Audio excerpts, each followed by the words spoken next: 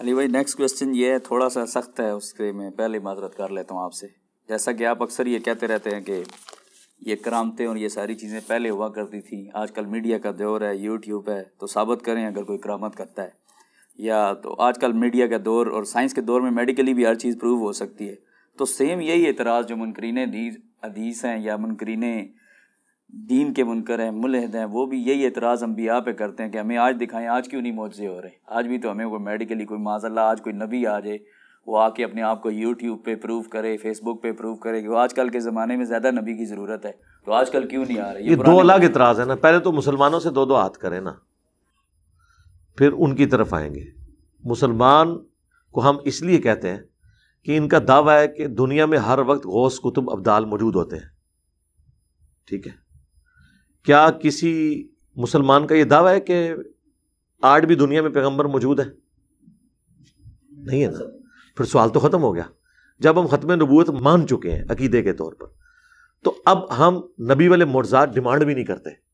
ये कह देना कि वली मर गए ने इंजीनियर दे आने तो बाद गौस को तो पैदा होने बंद हो गए ने। मैं एतराज़ खत्म कर देंगे।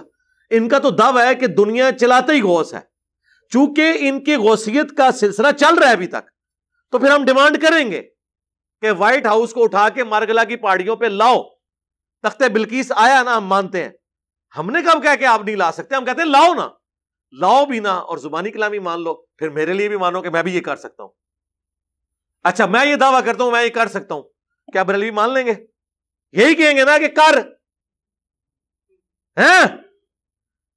तो थोड़े बाबे को ना सी डिमांड करिए करो। हम इन प्रिंसिपल तो डिनाइल कर ही नहीं से आज तक मैंने कुरान के किसी मोर्जे का करामत का इनकार किया साहब कराम की करामात का इनकार किया हम इनके बाबों की झूठी बातों को नहीं मानते। हम कहते हैं, झूठे क्लेम कर रहे हैं, ये अपने बाबों के बारे में वो करामात और मोर्जात क्लेम कर रहे हैं जो नबी को नहीं दिए गए। यही तो हमने लिखा है इधर। नबी के जैसा है ही कोई नहीं, बाबे ते शाही कोई नहीं। अगर नबी को एक मोर्जा नहीं दिया गया, वो आप बाबे के बारे में कैसे क्लेम कर रहे हैं? यानी नबी को देखकर तो साहबा कराम के मुखालफी कलमा नहीं पढ़ते। बाजीद बुस्तामी जिस गली से गुजर जाए, लोग देख के कलमा पढ़ लेते हैं। तो हम तो कहेंगे ना ये बकवासियात है। और अगर यही बात है तो फिर हमें माने वलीउल्लाह। हमारी, हमें देख के नहीं, हमारी वीडियोस देख के लोगों ने बरेलवियत छोड़ दी है। इनका मसलब छोड़ दिया ना? ठीक है ना? इनकी नज़र में कलमा पढ़ के वो इधर आ गए ना? तो फिर हमें मान लें ओलिया अल्लाह। अब आ जाए मुलदीन की तरफ़। उनसे हमारा जो बोन ऑफ़ कंटेंशन है, वो प्रॉफिट की ज़ात है ही नहीं है। हम बार बार कहते हैं, हमारा इशू है एग्जिस्टेंस ऑफ़ गॉड वंस आप गॉड को मान लेंगे, आपके बाकी सवाल इनवैलिड हो जाएँगे। मसलन, एक शख्स कहता है कि जी, मेरे नज़दीक, चूँकि अल्लाह ताला पैगंबरों का मोहताज नहीं है, लिहाजा कोई ज़रूरत ही नहीं थी पैगंबरों को भेजने की।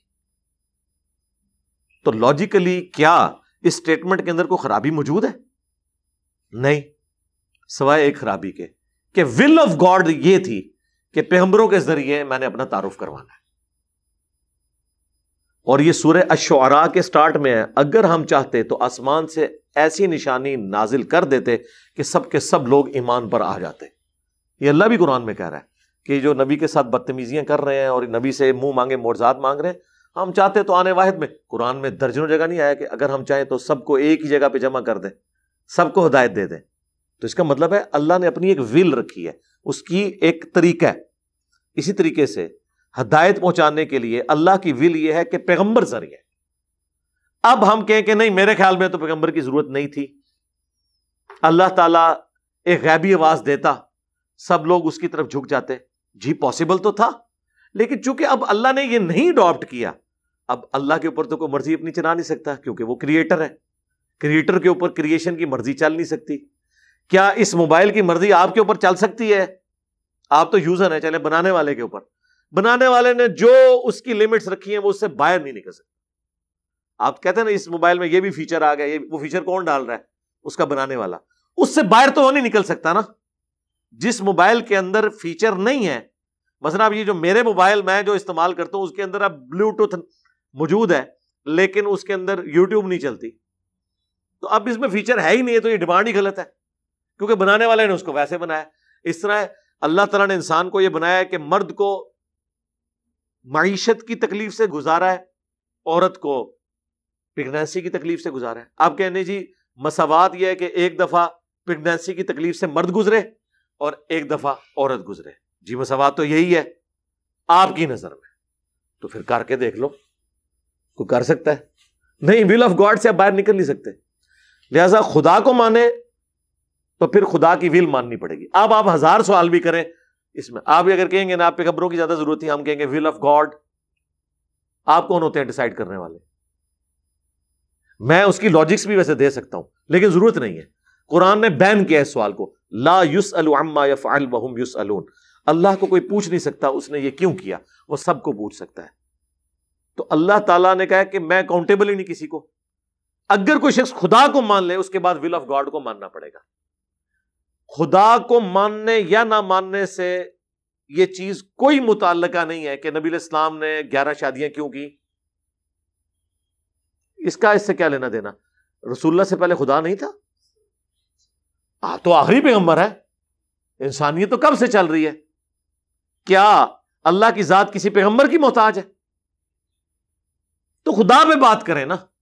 जब खुदा को आप मान लेंगे, फिर खुदा ने जो जो जैसे जैसे माना हुआ है, वो आपको वैसे वैसे मानना होगा। वरना तो एक हज़ार सवाल मैं आपको लिख दूँगा कि पाँच नमाजें क्यों हैं? ये तो तीन होनी चाहिए थी। ये तो दो होनी चाहिए थी। इसकी टाइमिंग भी ये होनी चाहिए थी।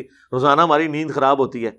फजर का टाइम रखना था आठ, नौ बजे सुकून से बंदा उठ के नाश्ता करे नावे तो फजर की नमाज़ पढ़े। एक गर्मी रात छोटी, ऊपर से फिर सुबह चार बजे उठना तकलीफ़ दे चीज़ है। तो आप इन सारी बातों के जवाब में क्या कहेंगे? विल ऑफ़ गॉड है, ये अल्लाह ने आजमाइश रखी है, इसके अगेंस्ट जन्नत मिलने वाली, ये प्लान है ना अल्लाह का। तो अल्लाह के प्लान को आप कैसे चैलेंज करेंगे? आप तो मखलूक हैं। आप कहें कि अगर ये प्लान सबसे बेस्ट है तो मैं उसमें भी खामियाँ निकाल दूँगा। मैंने तो एथियस्ट को कहा ले आओ, केड़ा प्लान ले आना जे तुसी? मैं वो खामियाँ कटांगा तो इसका तो एंड नहीं होगा। आपको अगर गॉड को मानना है तो विल ऑफ़ गॉड को आपको मानना होगा, और जब विल ऑफ़ गॉड होगी, फिर जितने सवाल हैं वो इनवैलिड है कि नबूत का सिलसिला क्यों खत्म हो गया? अब अल्लाह ताला वो मोर्जात क्यों नहीं दिखाता?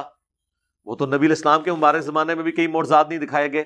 यहूदी कहते थे कि हमसे तो ये अहद लिया गया था कि जब तक आसमान से आग आकर कुर्बानी को ना खा ले, हम पैगंबरों को नहीं मानेंगे। तो वो हजूर से डिमांड करते थे कि आप भी कुर्बानी यहाँ रखें, ओपन ग्राउंड में आसमान से आग आए और उसे जला दे। नहीं ये मुँह मांगा मुआवजा दिया गया। आप आज की बात कर रहे हैं, नबी इस्लाम के मुबारक जमाने में भी जो मोर्जात मांगे गए हैं, वो नहीं दिए गए। आज हम आपको कहाँ से वो प्रोड्यूस करें? भाई विल ऑफ़ गॉड है। अल्लाह ने कहा, इस नबी का मोर्चा ये कुरान है। दैट्स ऑल मैंने फैसला कर लिया। तो अल्लाह के फैसले को चैलेंज नहीं करेंगे। एथियस से हमारा पहला और आखिरी जो इख्तलाफ है, वो खुदा के होने या ना होने पे है। अगर वो कहते हैं हम खुदा को नहीं मानते तो बाकी सारे सवाल तो हमसे करना ही नहीं ना चाहिए। सवाल ही है कादियानी जब तक खत्म नबूत नहीं मान लेते, बाकी सवाल क्यों कर रहे हैं उन्होंने? अगर एक बंदा कह, जी, मैं अरफुलदैन से नमाज़ भी पढ़ूँगा, मैं बाबों को भी नहीं पुकारूँगा, लेकिन मैं खत्म नबूत नहीं मानता। तो हम कहेंगे, ये फिर सारी चीज़ें इनवैलिड हो जाएँगी। पहली चीज़ ये है। एक बंदा कहता है, मैं कुरान को तो मानता हूँ, कुरान में अल्लाह की सारी सिफात मानता हूँ, कहार की सिफत नहीं मानता। मैं ये नहीं मान सकता कि अल्लाह ताला अपने बंदों पे कहर नाजल फरमाता है। हम कहेंगे, तुम काफिर हो। तो जरूरियात दीन को मानना भी ज़रूरी होता है। एथियस से हमारा असल इख्तलाफ खुदा के होने या ना होने पे बाकी सारी चीज़ें फिर इनवैलिड हो जाएँगी। उनका जवाब हमें लॉजिकली देने की ज़रूरत ही नहीं है। वो आप एक लॉजिक पेश करेंगे, मैं दूसरी लॉजिक पेश कर दूँगा। मसलन मैं ये समझता हूँ कि ये दौर इस काबिल ही नहीं था कि यहाँ कोई पैगंबर आता। यहाँ पैगंबर का खाका बनता है तो हज़ारों लोग दुनिया में कत्ल हो जाते हैं। आप ज़रा ये इमेजिन करें कि अल्लाह के नबी दुनिया में मौजूद हों और आपका एक यूट्यूब चैनल हो। जिस पे आप पूरी दुनिया को खुदा की दावत दे रहे हो और उस वीडियो में से क्लिप्स काट काट के रसुल्ला की मीम्स बनाई जाए तो दुनिया का कोई मोहल्ला, कोई गली कत्ल गारत से खाली रह सकती है, मुझे बताएँ। ये दुनिया रहने के काबिल नहीं रहेगी। इसलिए आप देखें कि साहब कराम ने हजूर की तस्वीर भी बना के नहीं रखी। हालाँकि उस ज़माने में तस्वीरें बनाई जाती थी। इस फितने को दफन कर दिया। ये एक मैं आपको वजह बता रहा हूँ, तस्वीर का फितना, इतना बड़ा फितना है कि इस दौर में पैगंबर को भेजने का मतलब है कि दुनिया में कत्ल गारत, दुनिया का अमन बर्बाद, उसका कोई यही है कि अल्लाह ताला टेक्नोलॉजी उठा ले। तो ये अल्लाह ताला को पहले से पता था कि क्या क्या प्रॉब्लम होने हैं। इसलिए उसको फ्रीज कर दिया। वो बेस्ट वक्त था फ्रीज करने का। और विल ऑफ़ गॉड सीधी सी बात। मैं जब आवाज़ देता हूँ, वो कहते आ रहा